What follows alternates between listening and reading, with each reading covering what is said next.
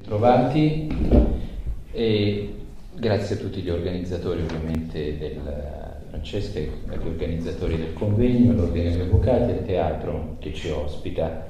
Io sono eh, un giurista, diciamo, quindi mi interesso anch'io delle questioni giuridiche, però ho fatto la scelta di fare l'imprenditore, faccio l'editore nella vita, quindi mi occupo, analizzo, studio le parti diciamo, legate al diritto, ma eh, da tanti anni, perché mentre studiavo lavoravo anche, avevo fondato la mia prima agenzia di comunicazione al primo anno di università, e ho avuto la possibilità di imbattermi nel mondo della creatività, quindi di lavorare da subito eh, concretamente, praticamente eh, nell'ambiente che poi ha generato diciamo, questa mia passione per il diritto d'autore, su cui mi poi mi sono specializzato, ho fatto la tesi di laurea su questo e, e quindi eh,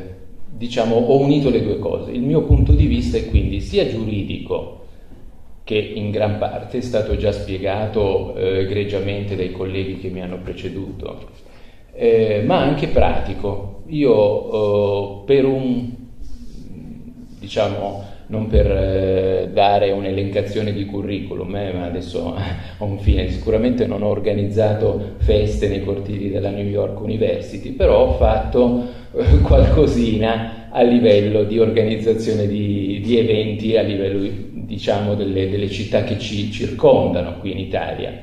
E per qualche anno sono stato catapultato con questa agenzia che rappresentavo nell'organizzazione di eventi di altissimo profilo.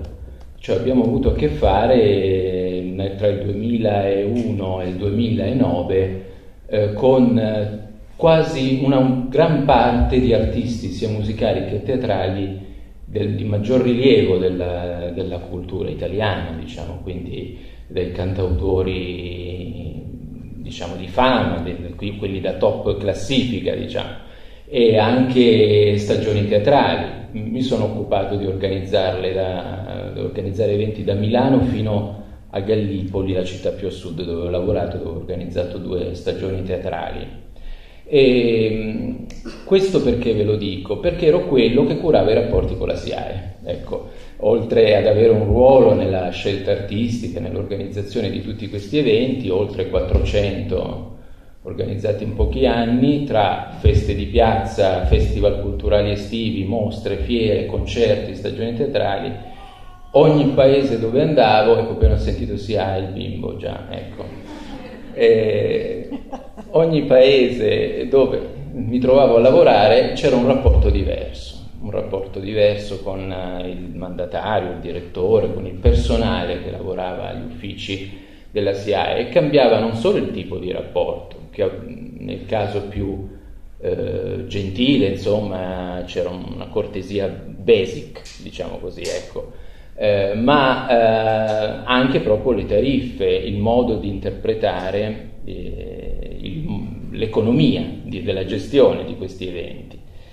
E eh, per cercare di eh, alleggerire, visto che siamo all'orario dopo pranzo, eh, mi piace iniziare con un episodio rappresentativo che mi è accaduto e mi è rimasto molto impresso, perché poi c'è da dire che al termine di questa mia esperienza, perché poi mi sono concentrato, ho scelto di fare solo l'editore, quindi di, di libri tra l'altro, quindi non ho preferito non proseguire, soprattutto poi negli anni critici che lo spettacolo ha subito tra il 2008 e il 2012, diciamo, sono stati anni molto drammatici e quindi mh, al termine di questa esperienza io ho scritto un libro e l'ho intitolato Abolire la SIAE. Ecco come è stata positiva questa esperienza, no? potete capire.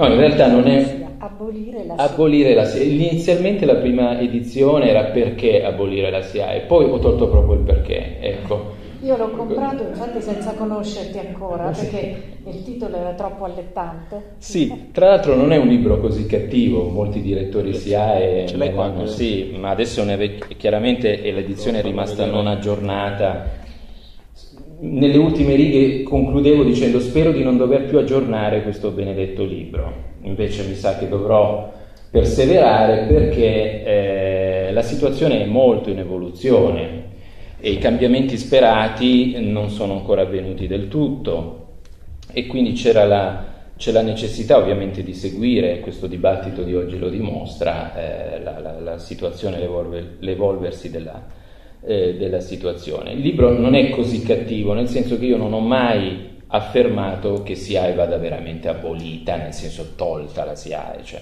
né ho mai disconosciuto l'importanza e il ruolo che questa società eh, svolge, svolge soprattutto nel, nella tutela del diritto d'autore. Io vorrei che veramente diventasse lo scopo di queste mie riflessioni, quello di fare in modo di cogliere gli errori che questa società, eh, a causa di questa posizione eh, di monopolio, che quindi lascia inevitabilmente da parte tante riflessioni anche sul piano etico, se vogliamo, che cosa ha fatto? Ha trascurato completamente i rapporti, a mio modo di vedere, con gli utilizzatori, con i suoi stessi iscritti, eh, con chi il diritto d'autore lo voleva pagare e capiva che è importante pagarlo, cioè non è che ehm, va negato questo, cioè l'autore è giusto che eh, riceva il compenso per ciò che crea e questo è fuori di discussione e occorre un ente un, eh, forte che sappia tutelare questo, che prevenga abusi, che li sappia eventualmente eh, individuare e azionare le dovute eh, eh, azioni di, di, di, diciamo, a, a, fare in modo che eh, ciò non avvenga e gli abusi che vengano puniti. Diciamo. Mm, però c'è stata molta confusione no? su cosa esatto, sul modo di comportarsi. Il problema della SIAE, io sono arrivato ormai a questa conclusione, che il problema della SIAE è soprattutto un problema di comunicazione di immagine, cioè la gente ha bisogno eh, di capire che cosa paga e soprattutto perché e soprattutto perché in quel modo. Eh, perché deve arrivarmi a farmi irruzione nel locale un personaggio che deve usare modi così un po' autoritari? Ecco, vabbè, un pubblico ufficiale, però non c'è scritto che deve essere anche antipatico e scortese, ecco, questo non, non, non, lo dice la legge, insomma. E, e quindi è questo che non viene percepito bene perché in fondo eh, è sacrosanto pagare un, il diritto d'autore ed è sacrosanto che venga anche gestito bene, che venga gestito con una certa trasparenza, che venga gestito rendicontando i compensi correttamente e, e quindi tutta una funzione che è un po' mancata. Quindi per tornare eh, sull'episodio che mi ha un pochino acceso il lume diciamo, su questo tipo di, eh, di argomento, di riflessioni, è stata la, eh, l'incarico che ho ricevuto come agenzia di comunicazione nel 2006, a sorpresa, devo dire, eh, dal comune di Piacenza per organizzare i Venerdì Piacentini, che è una delle manifestazioni storiche dell'estate piacentina. Le organizzai per due edizioni, nel 2016 e 2017 era la prima volta, io mi sono laureato a Piacenza alla Cattolica e eh, per me era un orgoglio servire la mia città, cioè qualcuno mi aveva notato e, eh, e quindi per me era un grande entusiasmo, accettai senza neanche pormi il dubbio, il problema della questione economica, cioè così, dico, per il piacere di organizzare l'evento più importante della città in cui vivevo, in cui condividevo studi, passioni, amicizie, eccetera. E, mm, però non ci avevo mai lavorato. Cioè, io ho lavorato a Lodi, per esempio, a Lodi al Sole, a, in tante altre città, ma a Piacenza non mi era mai capitato. Quindi la prima cosa che si fa allora, questa manifestazione che cos'è? Una specie di notte bianca ripetuta per otto venerdì consecutivi, dove in ogni piazza della città, del centro storico, si svolgono in contemporanea più eventi, più iniziative e contemporaneamente vengono lasciati aperti i negozi per lo shopping. Quindi registrammo presenze di 20-30 mila persone a sedia nel giro, diciamo così, ecco, di tutta la città, di gente che ovviamente si spostava da una piazza all'altra, eh, comprando, ascoltando, sedendosi ai tavolini, insomma una cosa molto bella, devo dire la verità. Però chiaramente non si poteva pensare di portare Bruce Springsteen in ogni piazza, ecco, bisognava creare dell'intrattenimento, dedicando poi alla piazza principale l'evento di punta, ecco, quella più capiente. Io andai dall'ufficio SIAE del, all'epoca diretto da, da, un direttore, ovviamente un mandatario, e mi presentai. Allora, una cittadina dalle forti tradizioni, dalle forti abitudini, quindi vedere improvvisamente un nuovo organizzatore, per giunta giovane, che non aveva mai lavorato lì, ecco che subito ho detto questo lo spolpiamo ben bene, non ha alcuna esperienza, riusciamo sicuramente a, a, a sparare più che possiamo per cercare di, di racimolare il più possibile. Questa è stata una sensazione ovviamente. Perché? Perché quando mi sono seduto lì davanti a dire che, insomma, che cosa dovevo fare, eh, mi è stato fatto un preventivo. Allora tenete conto che il comune finanziava la manifestazione con 30.000 euro, pochissimo, qualche sponsor bisognava cercarlo, soprattutto perché erano otto serate, con, ogni serata conteneva 4, 5, 6 eventi. E quindi immaginate voi tra impianti audio, luce, cachet degli artisti, catering, vari servizi, insomma, eh, le cifre, i soldi partono. Insomma, il preventivo che mi fece tabelle alla mano, eh, quindi con un certo tentativo di rendermi trasparente tutto questo, e il, il mandatario arrivò a 24.000 euro, cioè io avrei dovuto pagare 24.000 euro di SIAE su 30.000 euro di finanziamento comunale. Io, incredulo, eh, posi tremante, un po' così, diciamo, la, quasi titubante, ecco, la, la, domanda, scusi, ma io come li pago gli artisti? Eh beh, ma le tabelle sono queste fatto vedere, sono queste, eh? cioè, ma, su, ma su che calcolo lo fate? Scusate l'ignoranza, no? Poi io provavo a fare domande un po' alla Socrate maniera, facendo finta di non sapere. Allora la, la risposta è stata, beh, eh, Piazza Cavalli può contenere 25.000 persone, Piazza Borgo ne contiene 7.000, Piazza Duomo 15.000. Beh, sì, vabbè, ma non è che ci sarà Ligabue appunto o Massimo Ranieri in piazza, ci saranno gruppi emergenti, gruppi locali, poi sì, una serata ci sarà un artista di punta, però mh, mm, quando avremo uh, mille persone in ogni piazza penso che sia un record, eh, senza contare che la gran parte delle persone girerà per i negozi, nelle strade limitrofe. Non... Ah, ma non vuol dire niente, noi dobbiamo fare la capienza, poi mi fa, è gratuito, a proposito, è gratuita la manifestazione. Sì, sì, certo, è gratuito, ma la conoscete. Ah, ma gli altri anni non era mica gratuito. Come non era gratuita? Cioè, è comunale, le piazze sono aperte. Eh, eh no, ma lei ha sponsor. Sì, sto, stiamo cercando qualche sponsor. Eh. E beh, allora non è gratuita, perché la SIAE riesce a fare questa distinzione.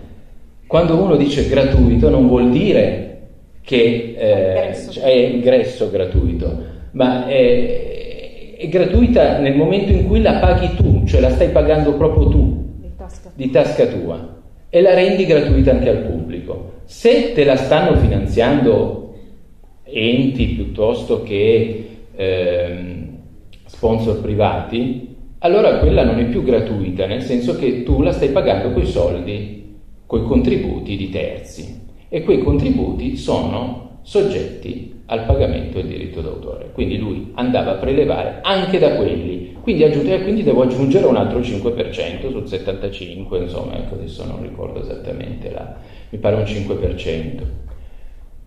Per un concessionario Peugeot che avevamo e cioè, per due macchine esposte in piazza un supermercato che ha messo lo striscione sotto al palco, ecco. E quindi la cifra aumentava ancora di più affinché io sono andato dall'assessore alla cultura dell'epoca e gli dissi io rimetto il mandato, ecco come, perché la manifestazione non si può fare. Eh, praticamente tutti i soldi che ci date vanno alla SIAE. Chiaramente poi ne nacque una negoziazione e guarda caso improvvisamente, dopo, insomma, dopo una trattativa, devo dire, abbastanza impegnativa in cui l'assessore ci ha dovuto mettere la faccia, eh, è, salita, è, saltata fuori eh, l'applicazione delle tariffe minime, cioè minime, cioè io anziché eh, 3.000 euro per la piazza principale andavo a pagare 180 euro, perché ecco, insomma, una bella differenza tra il prima e il dopo. Eh beh, direi.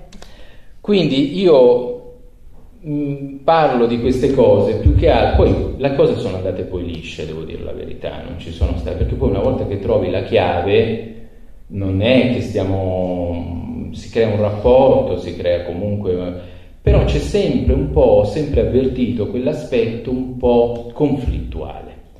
Cioè alla fine io sono uno che sta entrando a pagare non sono un pirata che scarica musica illegale, non sono uno che eh, non la paga e si fa trovare dall'ufficiale che arriva a controllare senza il permesso, ma sono uno che vuole riconoscere questo, il diritto d'autore assoluto. E la prima cosa che ho fatto non appena ricevuto l'incarico è andare alla SIA.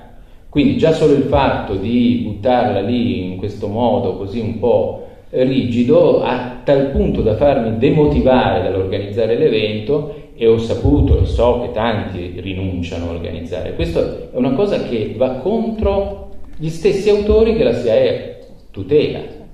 Cioè non, non, può essere che un organizzatore, che è la principale fonte, diciamo perché dai, i passaggi radiofonici, a meno che non sei zucchero, è un po' complicato per i piccoli autori, ma l'organizzatore di eventi eh, ti permette di avere l'esibizione live, ti, ti, apre le porte ai locali, a tante cose eh, che sono una fonte primaria di entrate per gli artisti, per i giovani artisti. Quindi eh, impedire, diciamo, rendersi ostacolo di una cosa che invece dovresti avvantaggiare, tutelare, ma anche favorire, l'ho trovata sempre una grande contraddizione. È un problema che danneggia indubbiamente l'immagine, ha danneggiato per anni l'immagine, quell'immagine che la stessa SIA, attraverso l'ex consigliere Arduini, aveva eh, palesato a un certo punto quando è arrivato lo spettro della concorrenza, ha detto dobbiamo smetterla di essere gabellieri. La nostra immagine non può ridursi a quella di riscossori, cioè di persone che vanno, fanno irruzione nelle piazze, nelle feste parrocchiali, nei matrimoni, eh, a, eh, a dire con quella malafede di dire vedrai che lì troviamo qualcuno che non sta pagando. Eh, quando si presenta qualcuno ai nostri uffici dobbiamo essere un po' più sorridenti, più disponibili, più chiari nelle esposizioni. Dobbiamo trattare il nostro cliente come qualcuno che sta venendo lì a favorire l'attività per cui noi lavoriamo, cioè la tutela del diritto d'autore e favorire il lavoro degli artisti che tuteliamo. Quindi non dobbiamo essere, come dire, conflittuali. C'è stata questa lampadina che si è accesa nella, diciamo, nel, nella massima dirigenza della SIAE, ma ancora si fa un'enorme fatica evidentemente a, eh, ad applicarla, perché abbiamo visto eh, come eh, ancora oggi si troviamo sui giornali spesso situazioni dove appunto ci sono rapporti di questo tipo, conflittuale, molte discrepanze prima ehm, l'avvocato Vitale parlava del deposito cauzionale e mi aveva lanciato un assist che io raccolgo. Eh, qui a Milano una volta organizzai un concerto di una band appena emergente, molto emergente che piaceva alle ragazzine, era proprio un, un, un gruppetto che era uscito da qualche talent, all'epoca non c'erano i talent ma era qualcosa di simile, forse Sanremo, cioè, e mh, mm, con la Sony, che era la casa discografica, si decise di organizzarlo all'Alcatraz perché poi c'era anche MTV, voleva fare delle riprese e quindi volevano una location bella che piacesse ai giovani, eh, però l'Alcatraz fa 5.000 posti, noi ne aspettavamo 500-600 persone. Quando in prevendita avevamo venduto 300 biglietti, andai alla SIAE competente eh, per zona e mi chiese 11.000 euro di deposito cauzionale. E io chiesi se si poteva chiudere un occhio facendo un calcolo, spiegando che comunque avevo organizzato in diverse altre città e che con tutti i direttori, bene o male, guardavamo un po' il dato delle prevendite, facevamo un po' una previsione, però 11.000, cioè se lei calcola la presenza di 5.000 persone è impossibile, cioè adesso lei mi, mi, costringe a un esborso anticipato che poi mi dovrà quasi tutto restituire dopo, non c'è stato verso.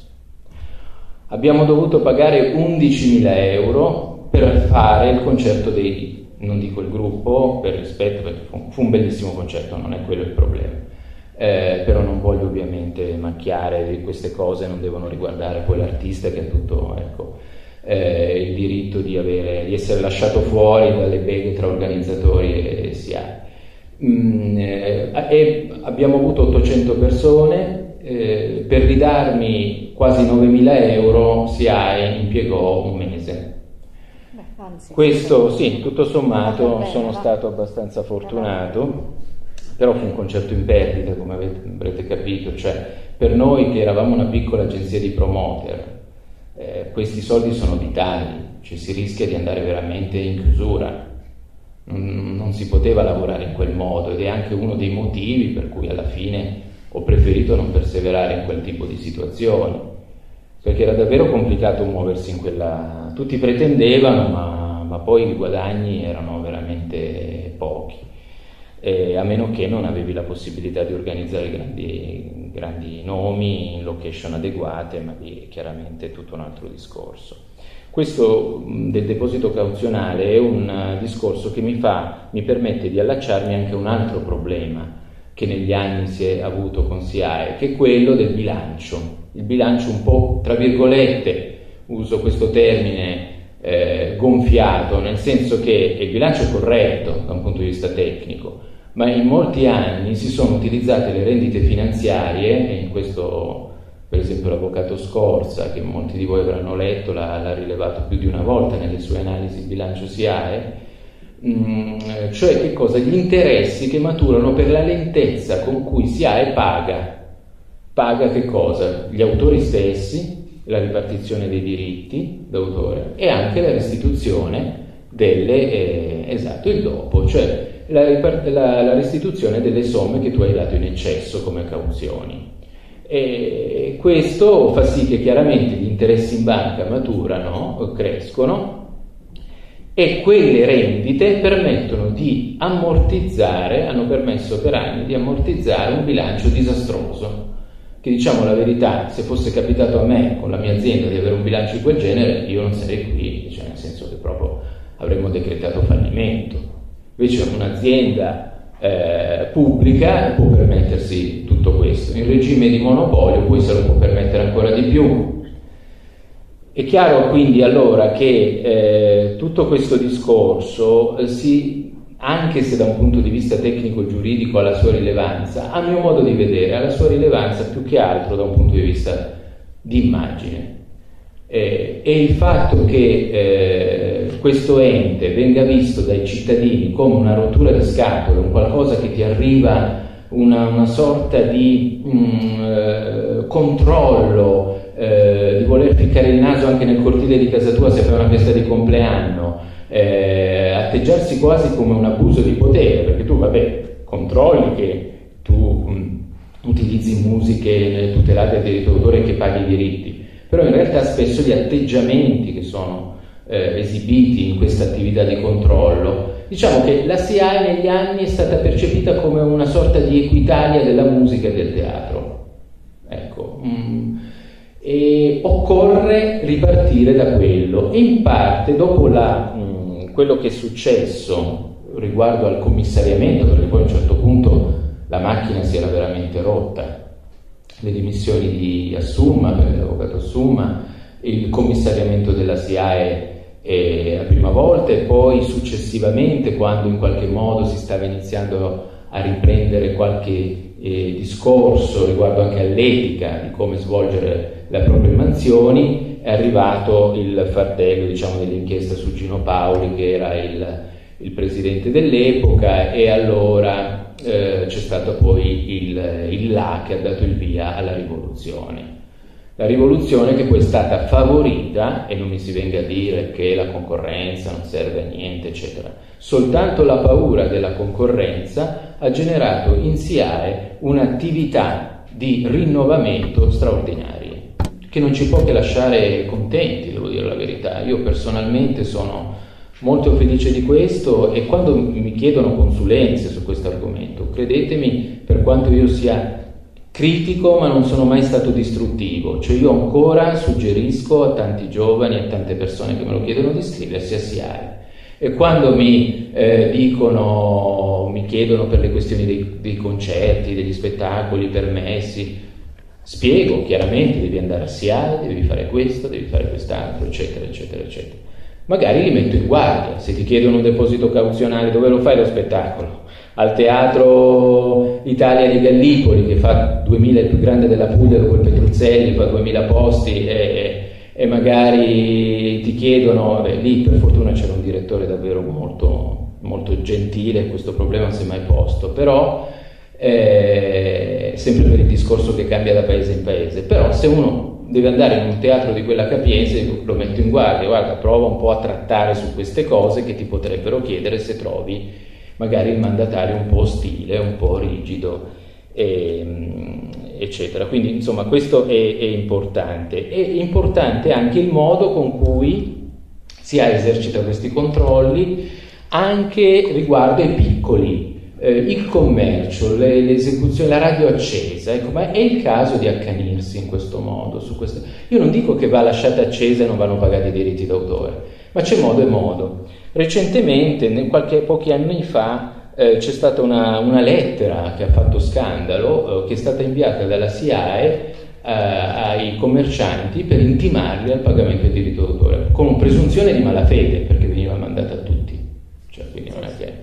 e, questi si vedevano, ci sono, mi pare di averlo scritto anche nel libro, c'era proprio anche una sorta di elencazione delle eh, sanzioni eh, piuttosto mettetevi nei panni di uno che non conosce i meccanismi della legge, del diritto e sente parlare di eh, denuncia penale. Ecco, si comunica che la legge 633-41, articolo 171, questo era scritto nella lettera mandata ai commercianti, prevede la denuncia penale alle autorità di polizia giudiziaria in caso di mancata richiesta di autorizzazione alla SIAE dei relativi pagamenti in caso di diffusione o esecuzione musicale in qualsiasi forma si invita pertanto a regolarizzare la posizione nei tempi indicati onde evitare seguiti penalmente rilevanti.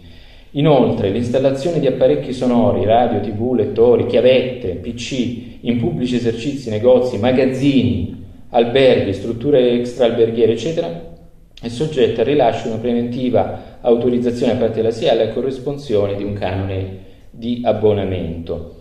Ecco, questo tipo di comportamento eh, spaventa. Eh, penso alla Maria che ha il bar alla Bovisa, per esempio. Sì, perché comunque si tratta eh, spesso di piccoli esercizi. Eh, di piccoli esercizi commerciali. In quel periodo erano arrivate quelle di SCF. Magari. Anche quelle di SCF hanno creato poi una, una spavento enorme da parte di molta gente che ha spento la radio. Ha detto io tolgo la radio dal negozio. E non bastava, non bastava perché c'è gente che ho scoperto proprio perché ho fatto qualche consulenza anche di recente, che la te- continuava a pagare anche con la radio spenta. Dico scusa, ma cos'è che stai pagando? Eh, ma sai, io ho paura, non voglio avere problemi. Ecco, questo terrorismo. Pensavo fosse il canone RAI. Sì, ecco, il canone RAI che arriva ormai.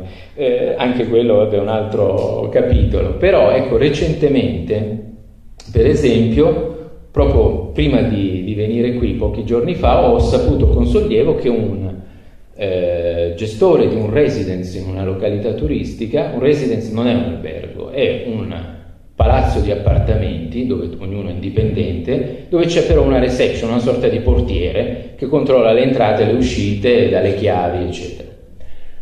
Ora, a questo signore anni fa gli arrivò questa lettera e lui iniziò a pagare la SIAE. Ma lui non aveva mica la diffusione della musica nell'atrio della niente. Al che quando mi accorsi di questa cosa, perché gli arrivò evidentemente, non ricordo l'episodio, ma perché stai pagando la SIAE? Scusi, che c'è diffusione nelle camere, c'è qualcosa, fate delle feste? Fate... Ah no, a me è arrivata così, mi hanno detto che mi denunciano e io non voglio avere problemi perché va pagata. Cioè lui insegnava a me che va pagata, cioè lui mi diceva proprio convinto, no no guardi, va pagata, dia retta a me. No, guarda che glielo dico, non voglio peccare di presunzione, ma le dico che non va pagata. Con chi, insomma, fortunatamente, complice probabilmente il cambio della sede che è stata dismessa con, come dire, accorpata a un'altra sede SIAE, quando questa persona andò timidamente a dire ma mi hanno detto che gli hanno chiesto, ha trovato una persona di buona intelligenza che gli ha chiesto ma lei diffonde musica alla radio? No, e allora non devo pagare niente. Ecco, oh, alleluia. Quindi mh, mm, eh, ci sarebbe da chiedergli rimborsi per tutto quello pagato ingiustamente, indebitamente negli anni, negli anni precedenti.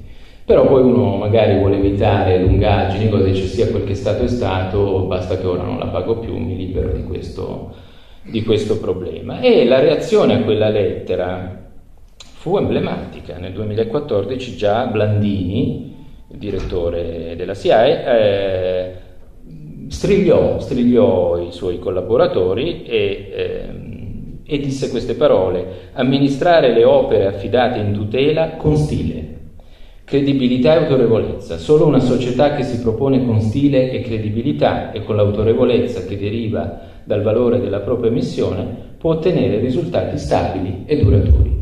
E anche qui, alleluia due volte, perché finalmente ci si rende conto che il modo di comunicare, il modo di fare cultura, perché se tu vuoi diffondere anche una cultura del diritto d'autore e spiegare che cos'è, devi saperlo fare. Mi viene in mente quella bella manifestazione che fanno eh, ogni anno, parole non ostili, no? che ci insegnano a comunicare anche fra di noi in modo non conflittuale, usando le parole giuste, facendo capire che una cosa anche autoritariamente, cioè devi farla, ma c'è modo e modo di spiegartelo e soprattutto va motivato, perché se uno non capisce il perché di una legge la percepisce come ingiusta, e si apre poi un problema eh, serio di una conflittualità con pezzi, diciamo poi, della società che evidentemente non comprendono e si ribellano a questo tipo di imposizioni.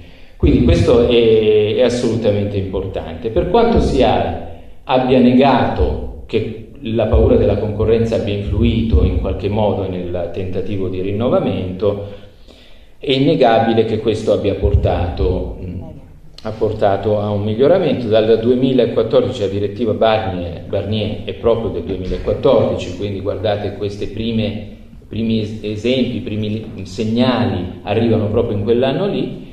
Eh, poi, complice il governo italiano, devo dire, è una posizione che va analizzata quella del governo italiano. Anche qui le leggi, a mio modo di vedere, io sono molto, eh, la mia seconda materia, la filosofia del diritto, diciamo prima, sono interscambiabili.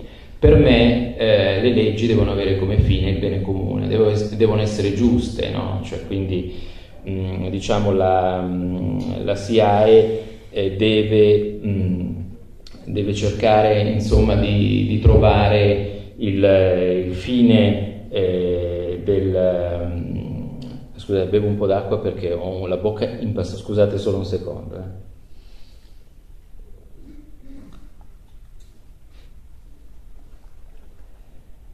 Eccoci qua. Allora, eravamo rimasti alla, alla questione della, della concorrenza e, eh, e, quindi diciamo la posizione del governo italiano è in parte comprensibile perché ha dato tutto il tempo a SIAE di mettersi a posto, cioè di cercare di eh, fare in modo che l'eventuale apertura, noi, nessuno sapeva come sarebbe andata, cioè ci sarebbe stato il problema eventuale di una vera liberalizzazione dei diritti d'autore. Quindi eh, all'epoca il governo che se ne occupava aveva ha pensato dire ok, allora facciamo una cosa. Abbiamo tutto il tempo, neanche tanto, però abbiamo tutto il tempo per recepire la direttiva. Cerchiamo di fare in modo che questa direttiva venga recepita il più tardi possibile. Anche se ci becchiamo qualche ritardo, qualche cosa, insomma così, tanto siamo abituati, ecco, non è la prima volta che lo semplifico in maniera, ecco, poi magari non è andata proprio così, ma il senso secondo me è stato questo, cioè consentiamo a SIAE di fare in modo di trovarsi pronta per quell'eventuale appuntamento. Nel momento in cui noi liberalizzeremo il mercato, SIAE deve essere un competitor pronto per stare sul mercato. Questa, diciamo, era l'intenzione, secondo me, neanche tanto velata. Intanto che Soundriff iniziava a operare, eh, appunto facendo appello sulla direttiva, eh, e quindi diciamo c'è, eh, c'è questa, eh, questa, cosa assolutamente un pochino ecco, di volerla, a mio modo, diciamo le parole come stanno, favorire. Perché? E allora perché giustifico, tra virgolette, in parte questo atteggiamento? Perché come ha detto il ministro Franceschini, non ci dobbiamo dimenticare che SIAE custodisce e tutela un patrimonio immenso, immenso, di cultura musicale, artistica, teatrale, che sta, è un bagaglio fondante, importantissimo della nostra identità, della nostra identità culturale, eh, della, del nostro, del, proprio del, del valore della nostra nazione, diciamo. Non dimentichiamoci anche, come diceva giustamente l'avvocato Librandi stamattina, che la SIA è stata fondata da personaggi che hanno, fatto, hanno dato lustro, storia, mi piace citare anche il premio Nobel Giosuè Carducci, ecco, alla, alla nostra cultura. Quindi eh, è evidente che tutto questo non poteva essere lasciato immediatamente in balia dell'incerto. Quindi da un lato, se vogliamo, la tutela del patrimonio artistico-culturale italiano è un fine che giustifica i mezzi, diciamo così. Li giustifica in parte perché poi, come sappiamo, l'Unione Europea è basata sul principio della libera concorrenza.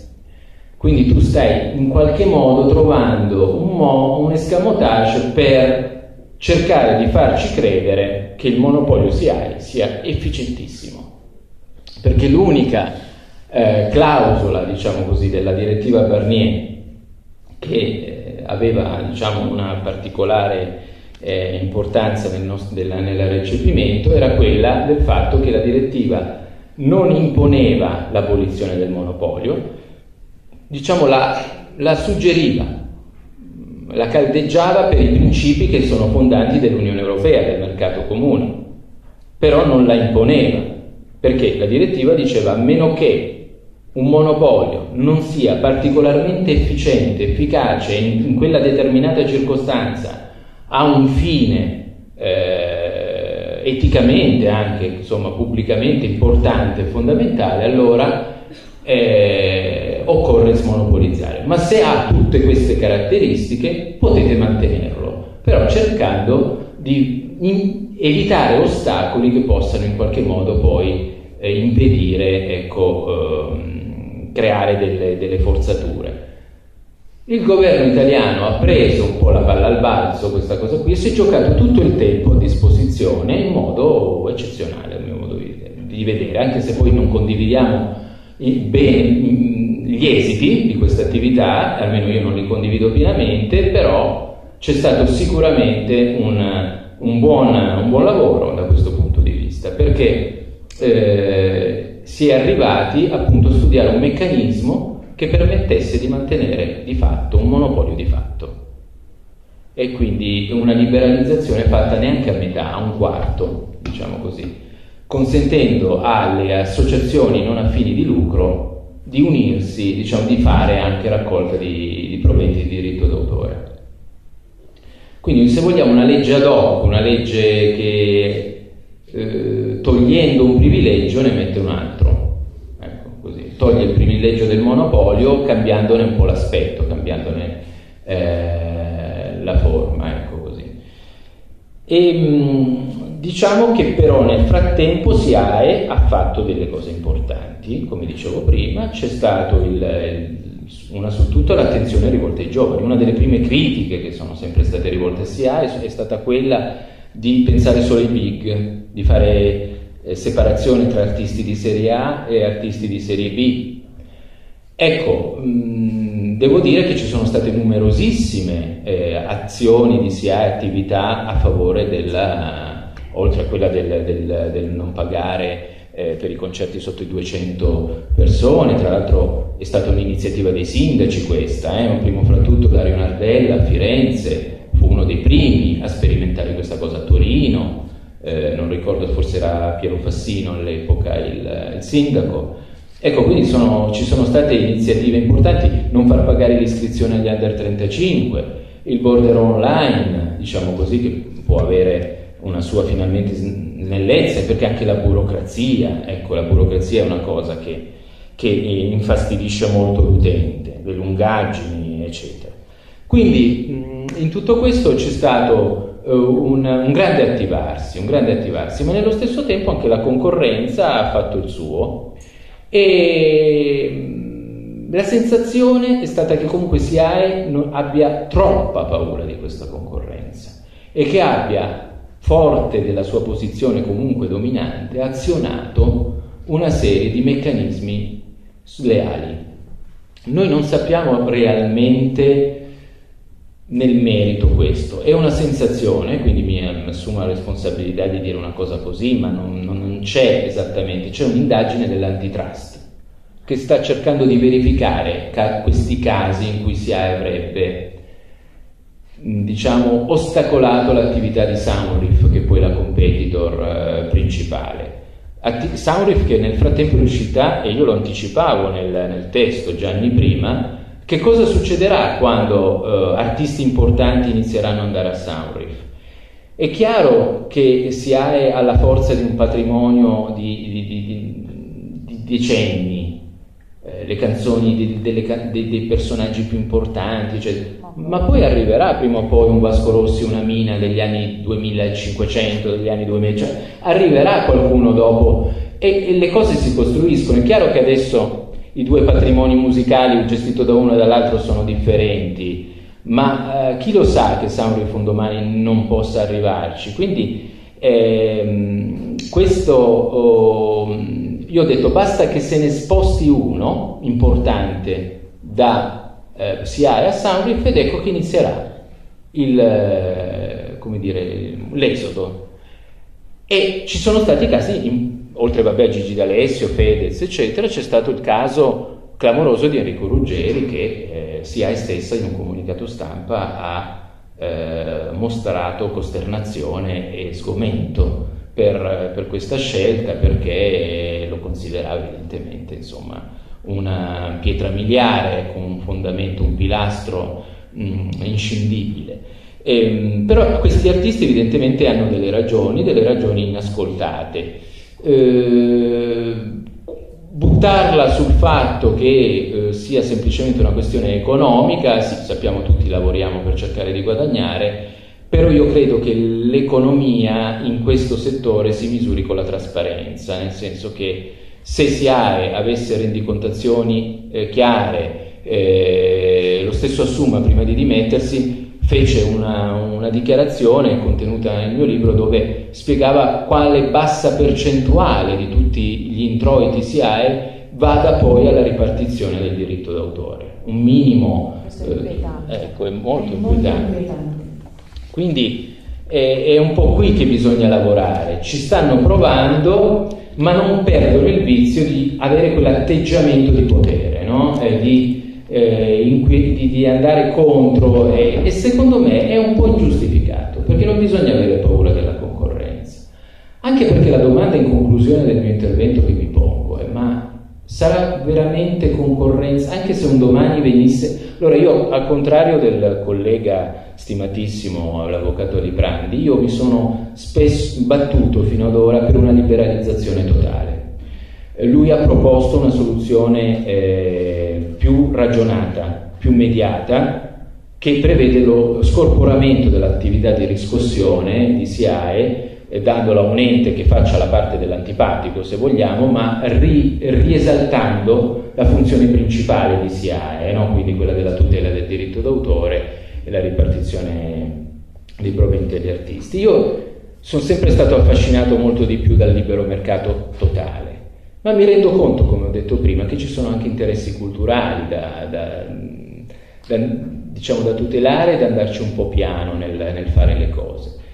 E, e, quindi io ritengo, la domanda che mi faccio, vorrei vedere dati alla mano, questo mercato del diritto d'autore è davvero così remunerativo? Cioè, Abbiamo davvero il sentore, cioè fino adesso si sono affacciate due società, di cui una era quella monopolista, SIAE, cioè che continuerà a fare il suo lavoro, e Soundriff. L'altra, eh, Patamu, è, è, già più orientata su altri tipi di servizi, non ha proprio, non si è messa, anche perché non ha avuto l'escamotage della sede all'estero piuttosto che... eh, la controllata no profit, eh, Lea si chiama, giusto? Lea. Ecco. Ehm, quindi diciamo questo è il, il, il punto. A mio modo di vedere, l'attività di rinnovamento della SIA può proseguire, proseguire convintamente, evitando questi abusi, evitando conflittualità con la concorrenza. Inevitabilmente c'è l'osservazione di quello che fa la concorrenza. Allora, io ho questa uh, passione per la musica da una vita, compongo per mio diletto, mi occupo di mixare, comporre delle parti tastierate per dei DJ, per delle e sotto vari pseudonimi ho registrato sia a SIAE che a Soundriff. Non io a SIAE, l'ho fatto come coautore, in realtà è il coautore che si è iscritto alla SIAE e ha registrato. Invece personalmente con uno pseudonimo sono registrato a Soundriff. E devo dire la verità, quello che affascina di Soundriff è la totale trasparenza. Tu entri sul portale e ti puoi vedere addirittura l'orario, il giorno e dove è stata trasmessa la tua canzone. Tu sai che alle 17.12 eh, di ieri alla Benetton di Pavia è andato in onda un tuo brano. Ecco, cioè, eh, questa ovviamente non con questa eh, tempo, eh, contemporaneità, cioè non c'è, però quando i dati vengono acquisiti dal server e poi insomma, ci sono degli aggiornamenti che ti permettono di capire e poi vengono pagati puntualmente questi, questi diritti facendo dei calcoli che sono tutti spiegati, trasparenti, eccetera. Ecco, è lì che bisogna lavorare, bisogna continuare a lavorare su quell'aspetto lì e senza temere e non ostacolare, perché è curioso che una società privata che vuole entrare su un mercato debba inventarsi l'ennesimo escamotage per aggirare una legge italiana.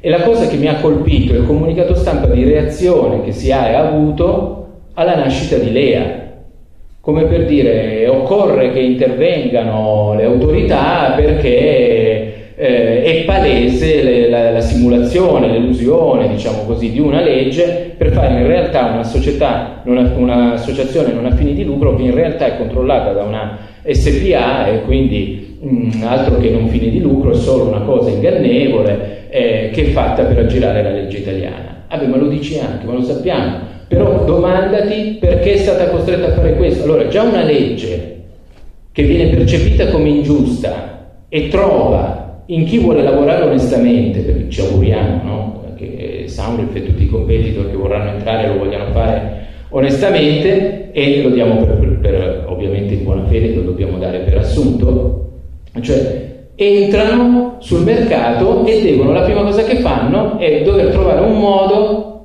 per entrarci perché il, il, la legge italiana è, favorisce, anziché il fine, è quello che eh, vi stavo dicendo prima, anziché guardare al fine di tutti, quindi un mercato efficiente che funzioni eh, con, eh, lasciando il giusto spazio a tutti i competitor, no, c'è un qualcuno che ha una posizione dominante privilegiata su cui è stato costruito addirittura, perché poi adesso sono stati risanati i bilanci, stati, è stata fatta un'azione, devo dire i complimenti, a, ma non c'era, da, da, da, stupirsi perché Sugar è una mente, il direttore SIA è una mente di una creatività, insomma viene da un mondo, poi giovane finalmente, una persona che sa, però ci sono ancora questi problemi. C'è il commerciante che viene trattato male dalla, dal mandatario che gli arriva, gli piomba lì, gli fa una piazzata. Eh, non siamo ancora completamente fuori da questo sistema.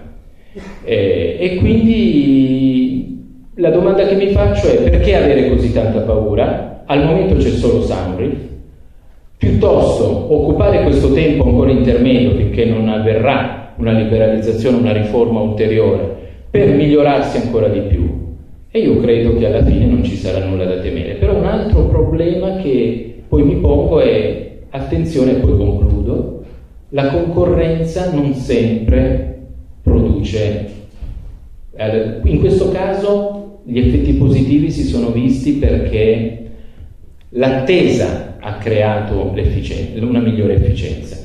Cioè, io so che tra due anni devo adeguarmi a una direttiva europea e allora ecco che ti do tutto il tempo per cercare di attrezzarti e ti aiuto ad attrezzarti.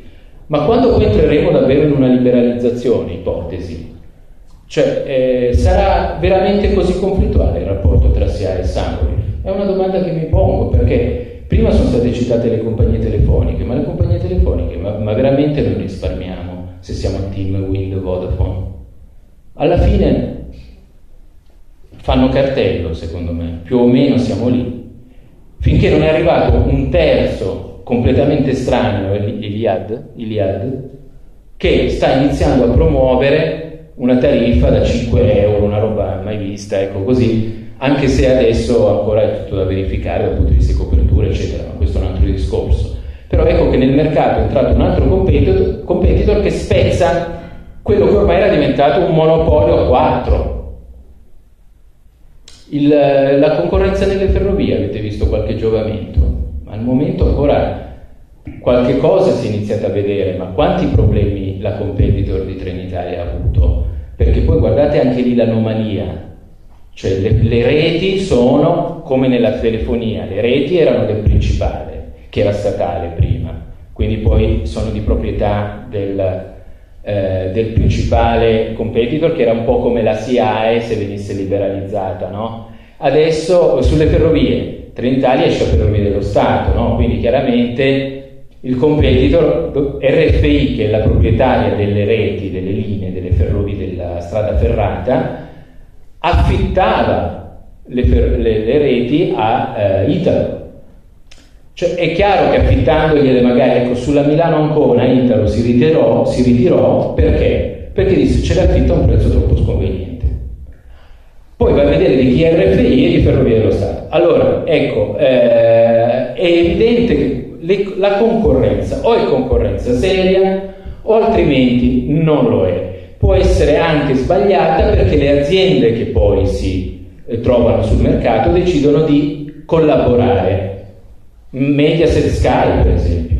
Cioè alla fine vedete che si trova anche il modo di collaborare se proprio, perché alla, io credo, lo dico anche con un po' di timore per questo tipo di esperienze, che eh, non è così detto che sia il Soundriff si trovino a offrirci poi in una sorta di concorrenza libera un servizio eh, per cui convenga più uno o più l'altro. Potrebbe essere che poi si crei un monopolio de facto due, cioè con l'alleanza, diciamo, delle... Sono tutti scenari possibili. A maggior ragione, proprio per questa incertezza del futuro, io il consiglio che darei a, a SIAE è quello di perseverare sulla sua mission principale, di continuare la ripulita di immagine, di guardare molto i rapporti con i propri utilizzatori, di non farmi vedere più spot dove bambini che scaricano musica dal computer eh, vengono derubati della loro anima, non so se ve lo ricordate al cinema. Sì, sì, sì, si entrava al cinema per guardare un film e prima della visione del film partiva questo spot inquietante dove il bambino era lì con la cuffia che scaricava materiale protetto dai diritti d'autore, ragazzino, e, e poi usciva questa cosa, rubare ti ruba l'anima, una cosa del genere. Si svuotava piano piano di tutto, dei vestiti, della cuffia, della, della stanza, della scrivania, del computer.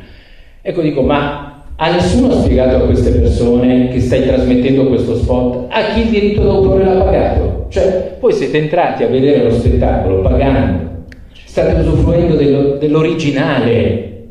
Cioè, tu non puoi trattare la pirateria, l'industria eh, malavitosa che ruba soldi al diritto d'autore, confondendola col ragazzetto che se non gli dà 10 euro il papà o la mamma il disco non lo prende, il CD l'unico modo che... E poi hanno capito che non bisognava dichiarare guerra allo streaming, perché Spotify hanno fatto gli accordi di dire facciamola ascoltare questa benedetta musica ai ragazzi, perché poi magari ascoltando 100 canzoni si appassionano a un artista e vanno a comprare il CD o vanno a comprarselo originale scaricandolo a 0,99 e una statistica ha dimostrato che da quando è arrivato internet con la distribuzione dei contenuti digitali, persino quando c'era Napster gratuito che tutti scaricavano la musica gratuita, una statistica ha dimostrato che erano aumentate le vendite dei CD originali. Ma io stesso ho usufruito di quello strumento per recuperare un sacco di artisti, che non riuscivo a trovare sul mercato, che ricordavo magari, che, di cui avrei voluto trovare nome, canzone, eccetera, e poi me li sono andati a comprare. Beh, non tutti sono come me, però voglio dire, non, siamo, non c'è l'utente singolo che si scarica la canzone il problema del diritto d'autore in Italia. Quindi è lì che deve capire di non confondere più l'utente, il proprio utente che deve coccolare, assistire, educare, consigliare, far pagare, ma con un certo modo, con quello che invece è chi vuole derubare gli autori loro, eh, del loro mestiere quindi non, per, non pagando eh, il diritto d'autore. E quella è un'industria malavitosa che merita tutt'altra, eh, diciamo, eh, trattamento. Io eh, ho concluso, di episodi ne avevo tanti, non se ne tanti, però mi rendo conto che non posso stare qui due ore a, a chiacchierare. Una, una, piccola cosa che mi piace ricordare è il comportamento lo, fa, lo, dico sempre per dire anche gli autori, anche gli artisti devono cercare di trovare un attimo il modo di sapersi comportare in questo giro, perché non è che solo la si ha, eh. Però diciamo che questi meccanismi, il 10% sugli spettacoli, il 15% se c'è anche sull'incasso, se c'è anche la parte letteraria, eh, inducono alcuni a marciarci un po' sopra. E voglio concludere con questo piccolo aneddoto, aneddoto, che fa riflettere, per dare anche una piccola scossa anche agli autori, per non dire che, che dobbiamo solo guardare il lato di chi tutela. Cioè, eh, un grandissimo cantante, un cantante che stimo, con cui ho lavorato, ho avuto il piacere di lavorare di livello nazionale, ha, eh, mi fece una brutta sorpresa una volta. Praticamente eh, la prima data della tournée, di, di varie date che, di cui mi occupavo, eh, organizzato in un teatro di 1200 posti, tutto a posto, sapevo che il 10%, se non sbaglio, o il 20% sulla musica, non ricordo più, piccolo sbaglio, il 10% sul biglietto d'ingresso eh, doveva essere dell'incasso, perché era pagamento chiaramente, doveva essere dato a SIAE. Questo cantante inizia il suo grande show, tutto esaurito, bellissimo ovviamente, a un certo punto, anche per io immagino, ho immaginato sbagliando, per rifiatare, un po' come ogni tanto devo bere anch'io, eh, questo a furia di cantare, a furia di cantare a un certo punto si ferma un attimo e, e dice vi racconto una storiella, fa grazie per essere qui tutti, eh, dovete sapere che io, come io ho iniziato a cantare, e racconto una roba di un minuto su come lui ha iniziato a cantare. Una cosa come io vi ho raccontato come ho iniziato a occuparmi di SIAE. C'è una piccola differenza, che lui aveva depositato quel minuto di racconto come opera letteraria alla SIAE. Quindi raccontandola in pubblico io ho dovuto pagare il 5% in più perché c'era la parte del direttore con questa faccia, c'era la parte letteraria. Qual è la parte letteraria? E beh, quando come non ha sentito la storia come ha iniziato a cantare? Eh, ma quando? Cioè, quando ha preso fiato che stava sudando come una... Cioè, no, no, no, quella, quella è un'opera. Ma se prima dicevamo l'articolo 1, la creatività, l'opera dell'ingegno deve avere i requisiti, ma che requisiti ha? È come se voi foste paganti oggi e io vi raccontavo la storiella dei venerdì piacentini e la depositavo. Cioè, la deposito come un'opera letteraria, mi piglio anche come autore, mi prendo i proventi dell'incasso, quindi l'organizzatore ha organizzato, io mi prendo anche per aver ripetuto da me stesso la mia opera a voce. Ecco, questi meccanismi qua forse, forse andrebbero un attimino ripensati, perché già sta riprendendo un lauto cachet, ma l'auto veramente. Eh, il diritto d'autore sulla musica e poi per un minuto di racconto veramente passato inosservato, ma proprio inosservato, ti sei preso il 5% in più del... Ecco, ecco non poteva rinunciarci, l'abbiamo visto. Perché? Perché ci sono questi meccanismi che essendo poi tutto depositato, e chiaramente è stato il direttore SIA, il, mm, il direttore SIA poi l'ha ricordato, ha detto guarda che lui ha questa parte letteraria che è depositata, ha questa parte musicale che è depositata, eccetera, eccetera. Quindi andava pagato anche il fiato di questo cantante ho dovuto pagare, ecco. Però eh, sono cose simpatiche se vogliamo dopo che se ne è dopo, usciti. Dopo, sì, dopo aver pagato. quando è passato qualche io anno. Spero, eh, esatto, io spero di... Io le ho metabolizzate ormai, ne parlo e spero di poter scrivere un'altra edizione a beneficio... Mi auguro, ripeto, mh, mm, mi auguro che SIAE possa... Eh, in fondo io non, non, la, non la voglio vedere morta, dico no, ma anche perché ci ho dato tanti di quei soldi che non diceva vabbè almeno per questo. Eh, l'importante è che ci sia, eh, cioè se io vado alla cassa del supermercato e compro una cosa mi dicono grazie, ecco, cioè nel senso attenzione, rispetto, collaborazione, etica professionale, stile come ha detto la SIAE stessa e, e, e lì poi non c'è concorrenza che tenga, io credo che non ci saranno problemi. Eh, però continuare a utilizzare una posizione di abuso esercitando un potere in questi termini, come abbiamo visto in questi episodi, non giova al miglioramento dell'ente. Vi ringrazio molto. Grazie.